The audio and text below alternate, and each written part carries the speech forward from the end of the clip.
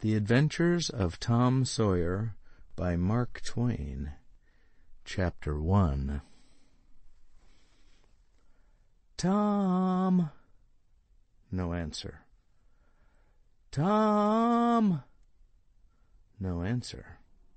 What's gone with that boy, I wonder? You, Tom! No answer. The old lady pulled her spectacles down and looked over them about the room. Then she put them up and looked out under them. She seldom or never looked through them for so small a thing as a boy. They were her state pair, the pride of her heart, and were built for style, not service. She could have seen through a pair of stove lids just as well. She looked perplexed for a moment, and then said, not fiercely, but still loud enough for the furniture to hear, "Well, I lay if I get hold of you, I'll—" She did not finish, for by this time she was bending down and punching under the bed with the broom, and so she needed breath to punctuate the punches with. She resurrected nothing but the cat. I never did see the beat of that boy. She went to the open door and stood in it and looked out among the tomato vines and jimpson weeds that constituted the garden. No Tom. So she lifted up her voice at an angle calculated for distance and shouted, You, Tom! There was a slight noise behind her, and she turned, just in time to seize a small boy by the slack of his roundabout and arrest his flight. There! I might have thought of that closet. What have you been doing in there? Nothing. Nothing? Look at your hands, and look at your mouth. What is that truck? I don't know, aunt. Well, I know. It's jam. That's what it is. Forty times I've said, if you didn't let that jam alone, I'd skin you. Hand me that switch. The switch hovered in the air. The peril was desperate. My, look behind you, aunt! The old lady whirled round and snatched her skirts out of danger. The lad fled on the instant, scrambled up the high board fence, and disappeared over it. His Aunt Polly stood surprised a moment and then broke into a gentle laugh. Hang the boy, can't I never learn anything? Ain't he played me tricks enough like that for me to be looking out for him by this time? But old fools is the biggest fools there is. Can't learn an old dog new tricks, as the sayin' is. But my goodness, he never plays them alike two days, and how is a body to know what's comin'? He 'pears to know just how long he can torment me before I get my dander up, and he knows if he can make it out to put me off for a minute or make me laugh, it's all down again and I can't hit him a lick. I ain't doin' my duty by that boy, and that's the Lord's truth, goodness knows. Spare the rod and spile the child, as the good book says. I'm a layin' up sin and suffering for us both, I know. He's full of the old scratch, but laws o' me, he's my own dead sister's boy. Poor thing, and I ain't got the heart to lash him somehow. Every time I let him off, my conscience does hurt me so, and every time I hit him, my old heart most breaks. Well a well, man that is born of woman is of few days and full of trouble, as the Scripture says, and I reckon it's so. He'll play hooky this evening, and that's southwestern for afternoon. I'll just be obleeged to make him work tomorrow to punish him. It's mighty hard to make him work Saturdays, when all the boys is having holiday, but he hates work more than he hates anything else, and I've got to do some of my duty by him, or I'll be the ruination of the child. Tom did play hooky, and he had a very good time. He got back home barely in season to help Jim, the small colored boy, saw next day's wood and split the kindlings before supper. At least he was there in time to tell his adventures to Jim while Jim did three-fourths of the work. Tom's younger brother, or rather half-brother Sid, was already through with his part of the work, picking up chips, for he was a quiet boy and had no adventurous, troublesome ways. While Tom was eating his supper and stealing sugar as opportunity offered, Aunt Polly asked him questions that were full of guile and very deep, for she wanted to trap him into damaging revealments. Like many other simple-hearted souls, it was her pet vanity to believe she was endowed with a talent for dark and mysterious diplomacy, and she loved to contemplate her most transparent devices as marvels of low cunning. Said she, Tom, it was middling warm in school, warn't it? Yes'm. Um. Powerful warm, warn't it? Yes'm. Um. Didn't you want to go in a swimmin', Tom?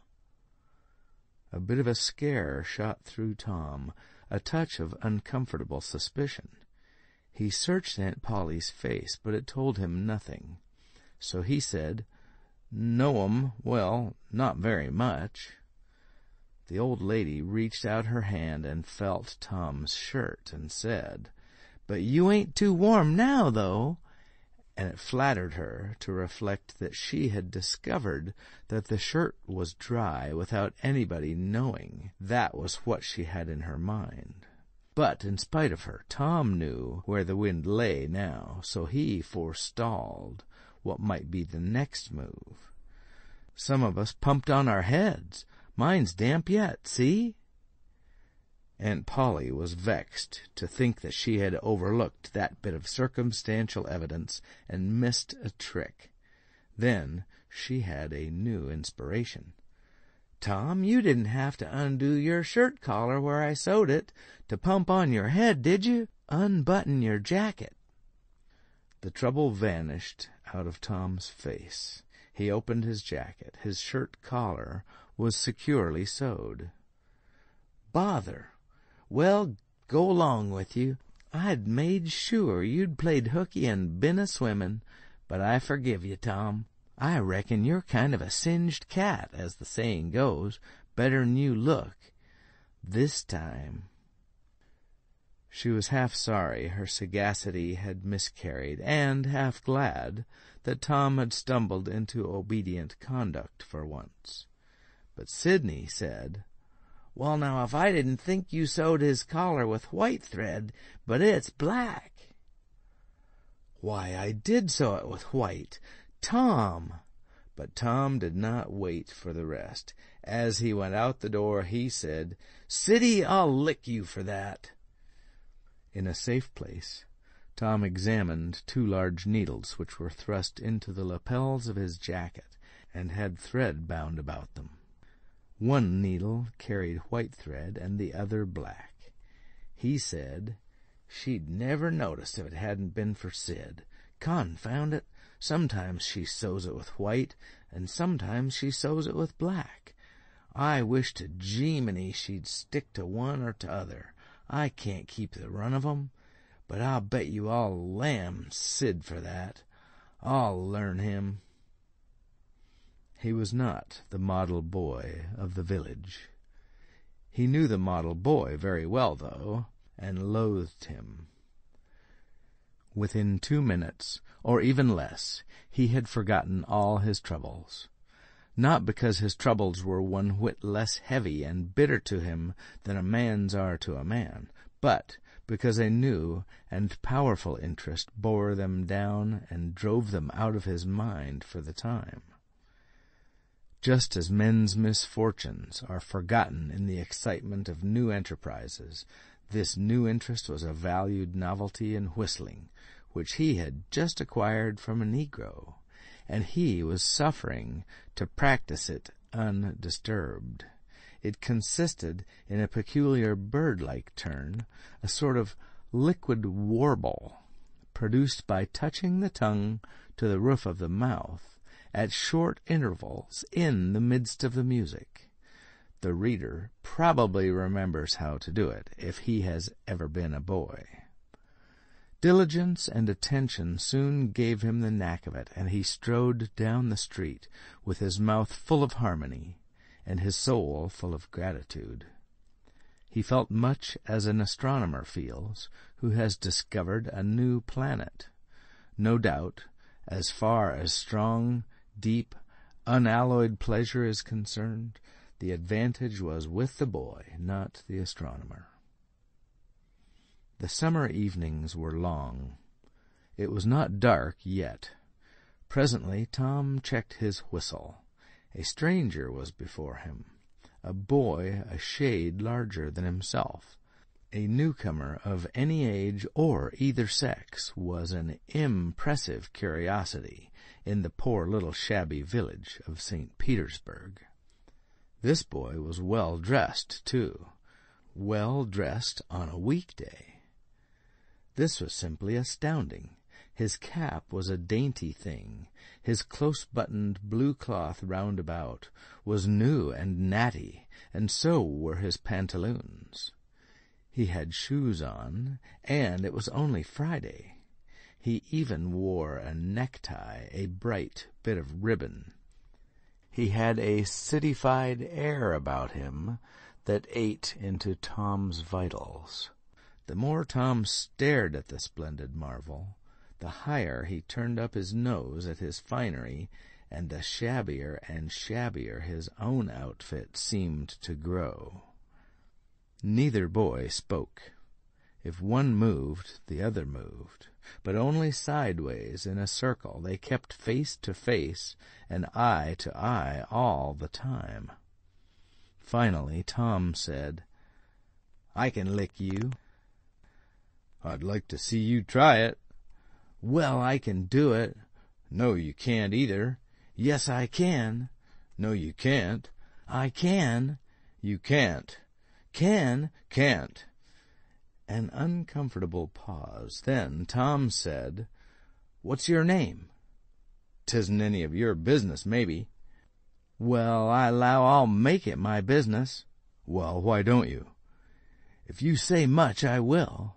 Much, much, much. There now. Oh, you think you're mighty smart, don't you? I could lick you with one hand tied behind me if I wanted to. Well, why don't you do it? You say you can do it. Well, I will if you fool with me.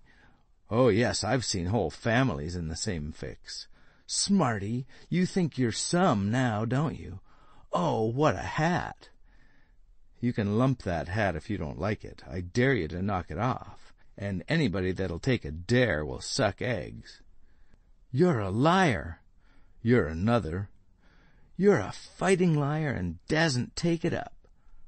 Ah, take a walk. Say, if you give me much more of your sass, I'll take and bounce a rock off'n your head. Oh, of course you will. Well, I will. Well, why don't you do it then? What do you keep saying you will for? Why don't you do it? It's because you're afraid. I ain't afraid. You are. I ain't. You are.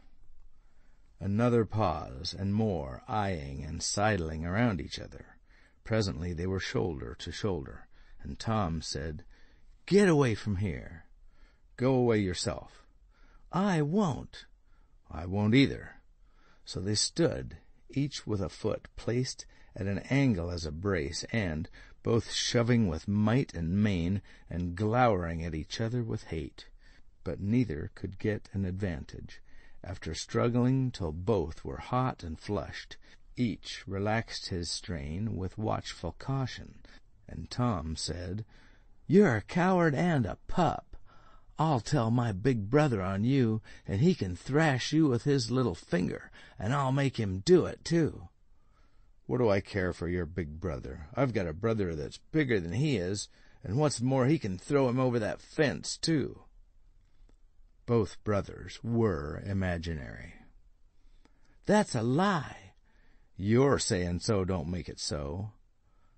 Tom drew a line in the dust with his big toe and said, I dare you to step over that and I'll lick you till you can't stand up. Anybody that'll take a dare will steal sheep.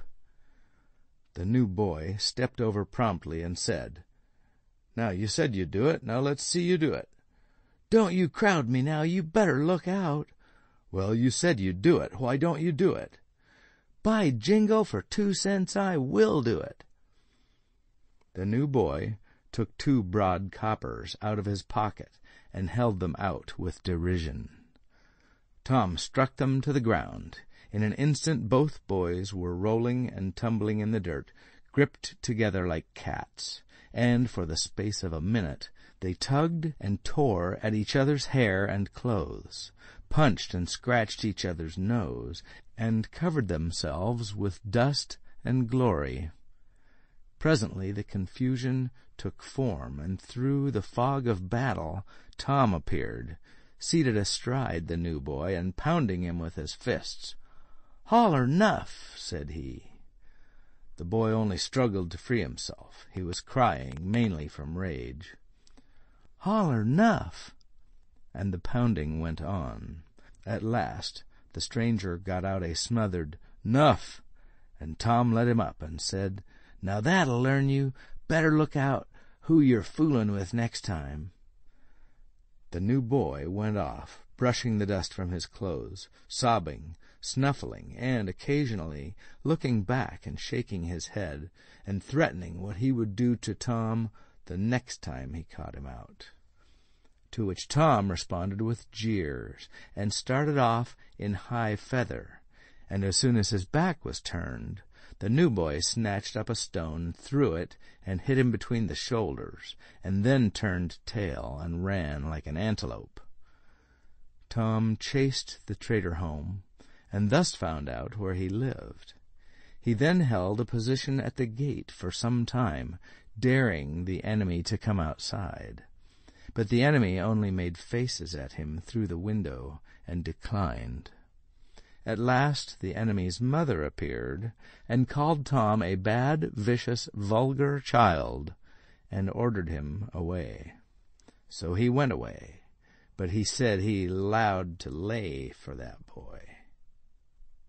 He got home pretty late that night, and when he climbed cautiously in at the window, he uncovered an ambuscade in the person of his aunt. And when she saw the state his clothes were in, her resolution to turn his Saturday holiday into captivity at hard labor became adamantine in its firmness. End of chapter one